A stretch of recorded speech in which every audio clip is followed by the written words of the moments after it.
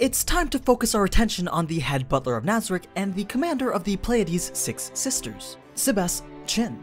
But I'm sure you already knew that. So let's do as we usually do and find out who exactly is Sebas, the Iron Butler, by looking at everything from his lore and creation to all the external elements that influence his character. But first, before we get into the details, a lot of you ask in the comments where you can find a game like Overlord's Yggdrasil. Coincidentally enough, I think I may have found one for you.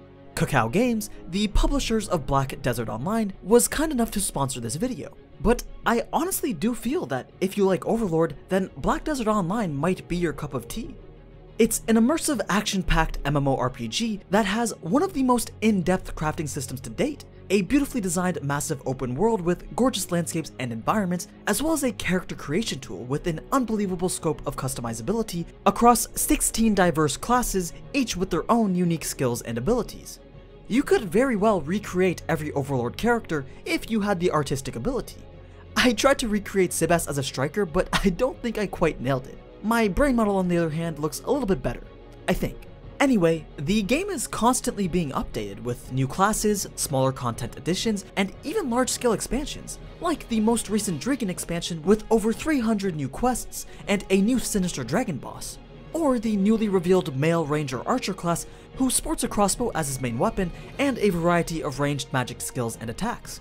For me though, I think the game's most fun aspect is its fluid real-time action-based combat, it feels a lot smoother and more fleshed out than other games that I've played, and there's certainly a lot of skills and techniques to be learned that make playing as any character an enjoyable experience. I can only imagine how crazy the guild PvP battles can get.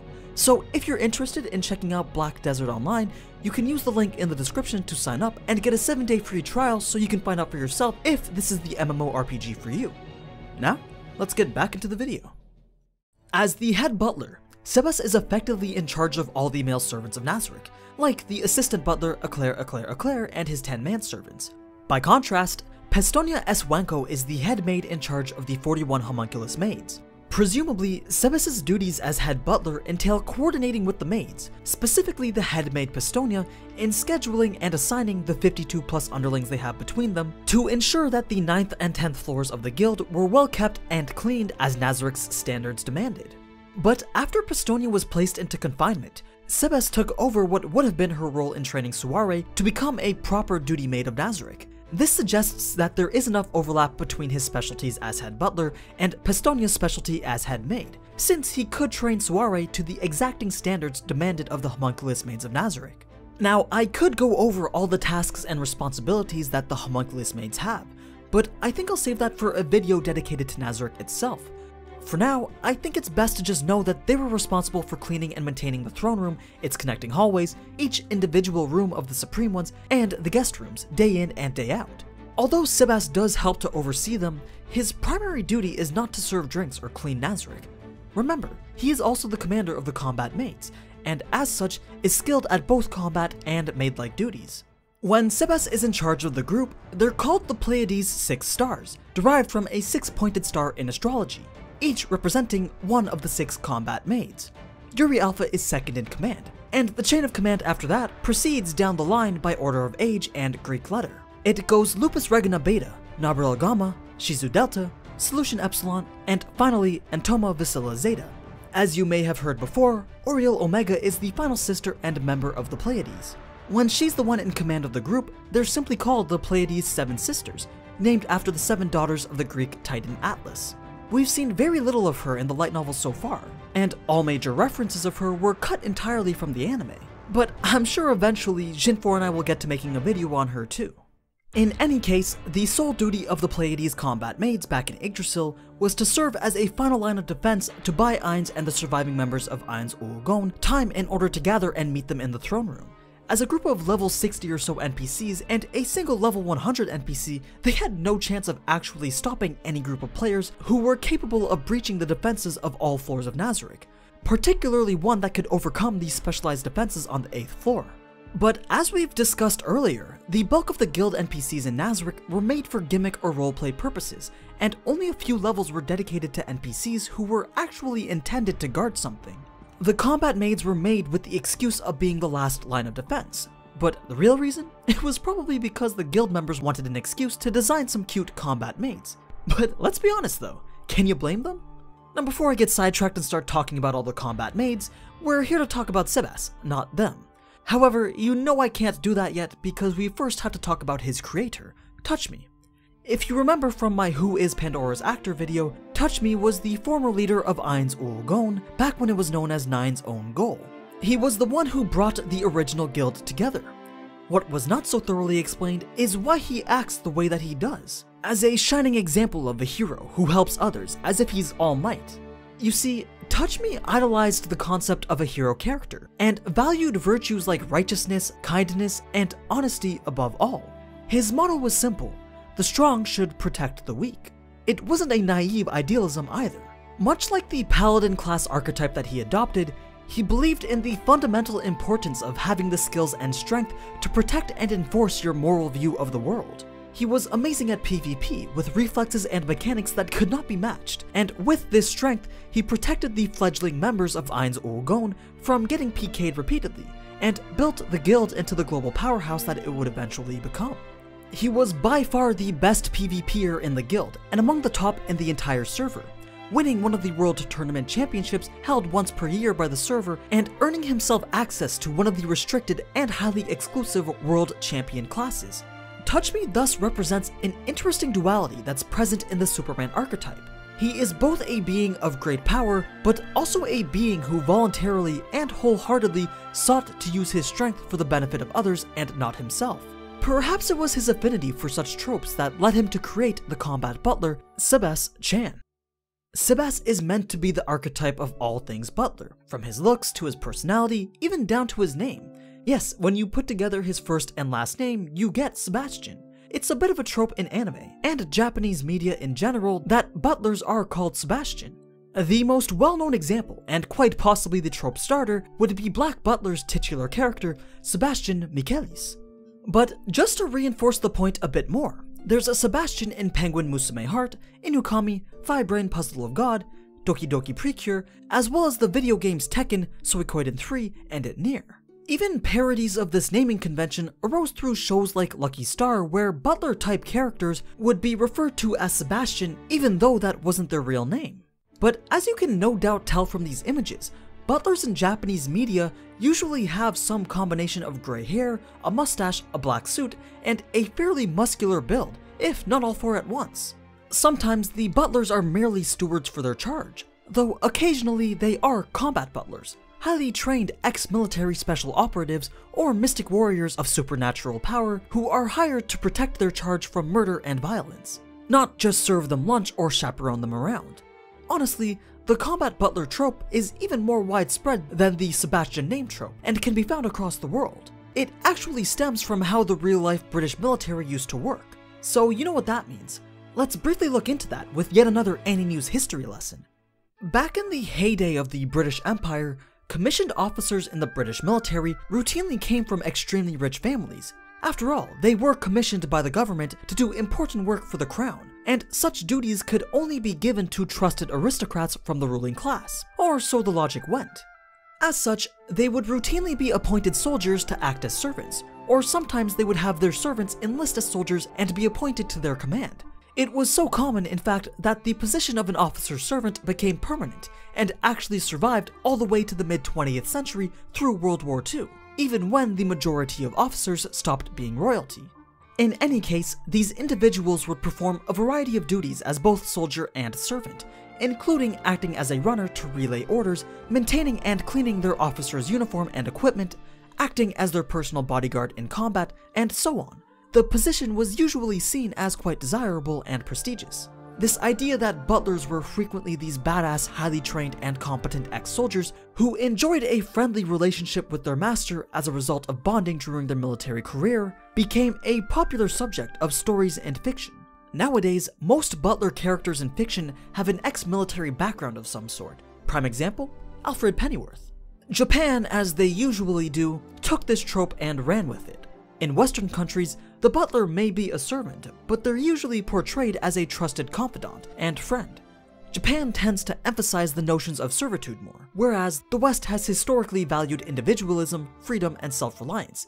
In Japan, as in many Asian countries, shifts towards such things have been slower because their culture values different traits. It's still customarily expected for those in the serving industry to patiently accept whatever orders or verbal abuse they receive from those that they are serving. Similarly, employees at a business aren't supposed to complain to their boss or protest difficult working conditions. Basically, Japan still values traditional notions of servitude from a cultural perspective. A servant, after all, is not supposed to have opinions, expectations, ego, or emotions. They're supposed to devote their effort and energy to serving the whims and ego of their master. It's no surprise then the idea of maids and butlers took off in Japan and we saw the rise of things like maid cafes.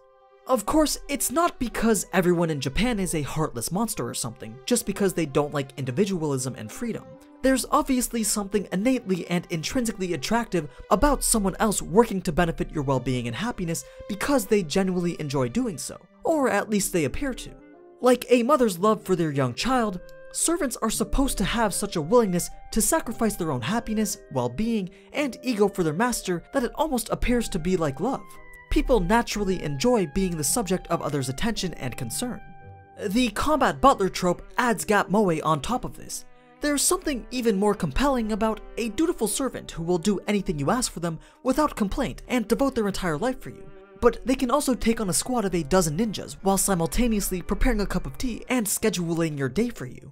Japan already had the concept of the Yamato Nadeshiko, the traditional Japanese ideal for a woman, one that was gentle, patient, and servile to the men in her family, but also possessing a steel wit, wisdom, and the conviction needed to assist them during their toughest times, not just be a pretty wallflower. Combat butlers and combat maids are just the same concept, but with a western skin. Like I said, it's the Superman trope.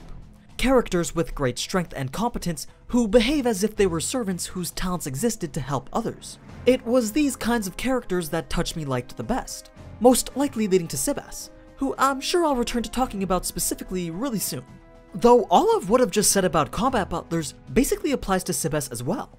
He's not exactly an ex-soldier, but he is a badass warrior, so close enough. It's never really explained why Touch Me liked combat Butler specifically, though we can infer that it was attributed to being a fan of the hero servant concept. But honestly, it doesn't even need to be that complicated. You have to keep in mind that Nazarick's Supreme Ones, back when they played Yggdrasil, were for the most part gamers and otaku, in addition to being working class adults. People like Ulbert Alain Odle or Tabula Smaragdina, who were interested in the occult and Western mythology, were the exception, rather than the rule. For the most part, members of Ainz Ooal Gown were influenced by anime tropes and Japanese culture, and they created things that reflected those influences, whether it be maids, traps, cute girls, or in Touch Me's case, combat butlers.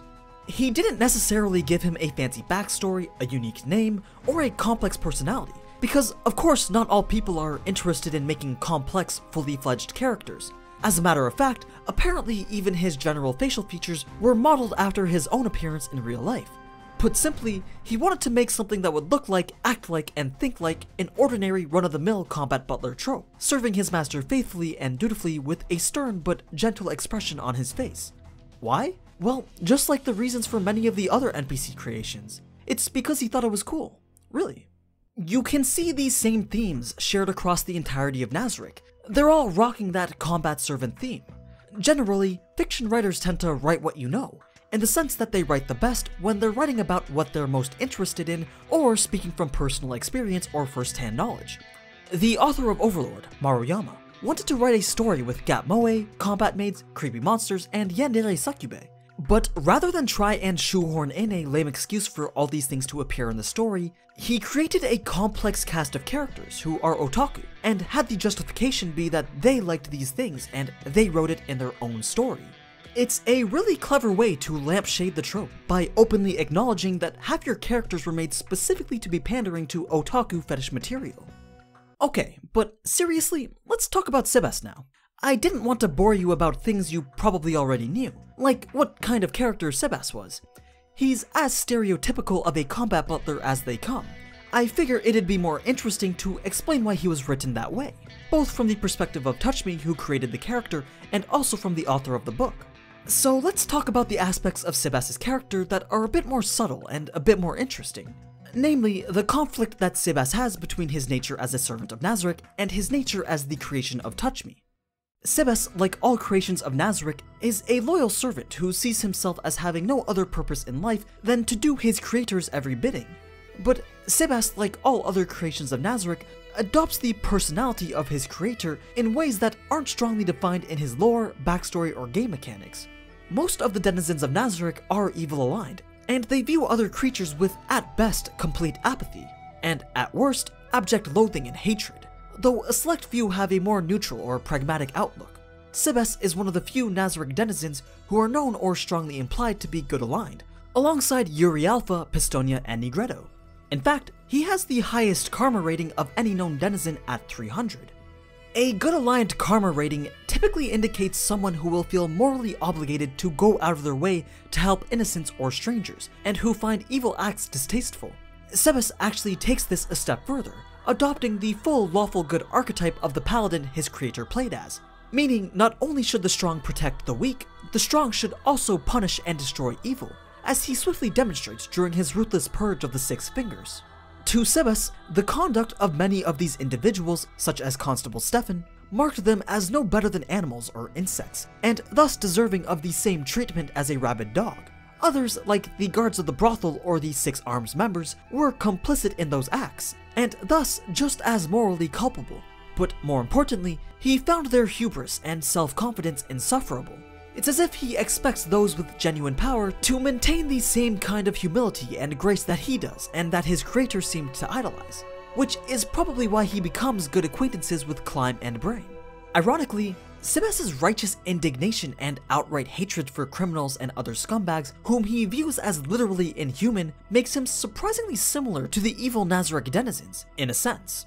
They too see those outside of Nazarick as fundamentally lesser creatures that do not deserve their lives, though the evil Nazarick NPCs are much less selective about who actually deserves what. That's not to say that they think everyone is beneath them. Regardless of karma rating, level, race, or position, a Nazarick denizen understands that their only job is to serve the edicts of the Supreme Ones, and that they are each deserving of a fundamental level of respect as fellow creations, for to disrespect a creation can be seen as a slight against their creator. Fundamentally speaking, the Supreme Ones exist at the top as the gods and rulers, with the NPCs at the bottom as their loyal servants and creations, and everything else that isn't from Nazarick aren't even on the scale. Nazarick servants share an affinity with each other, and view each other roughly as equals regardless of their position. After all, to think that one particular creation is fundamentally superior to another is to, in a sense, belittle one of the creators. Even Eclair, who seems to be made for the express purpose of being incompetent in every conceivable way, is not fundamentally a lesser creature because of this, though sometimes other NPCs do find it difficult to treat him with all due respect. Even if two creations would otherwise hate each other, both good and evil NPCs can cooperate to serve the Supreme Ones. For example, though Sebas can barely stand Demiurge's personality, he ultimately respects the fact that he can contribute to the glory of Ainz Ooal Gown. And aside from uniting around their shared identity as fellow creations, some are even compelled by their specific lore settings or personal background to maintain relationships that may be contrary to their moral code. Look at Yuri Alpha. Though she finds the behavior of some of her more evil and sadistic sisters to be disappointing and exasperating, she still loves them, as they were all written to enjoy a healthy and respectful relationship with each other. Still, there are a few exceptions to this rule, such as Shalltear and Albedo's or Demiurge and Sebas's.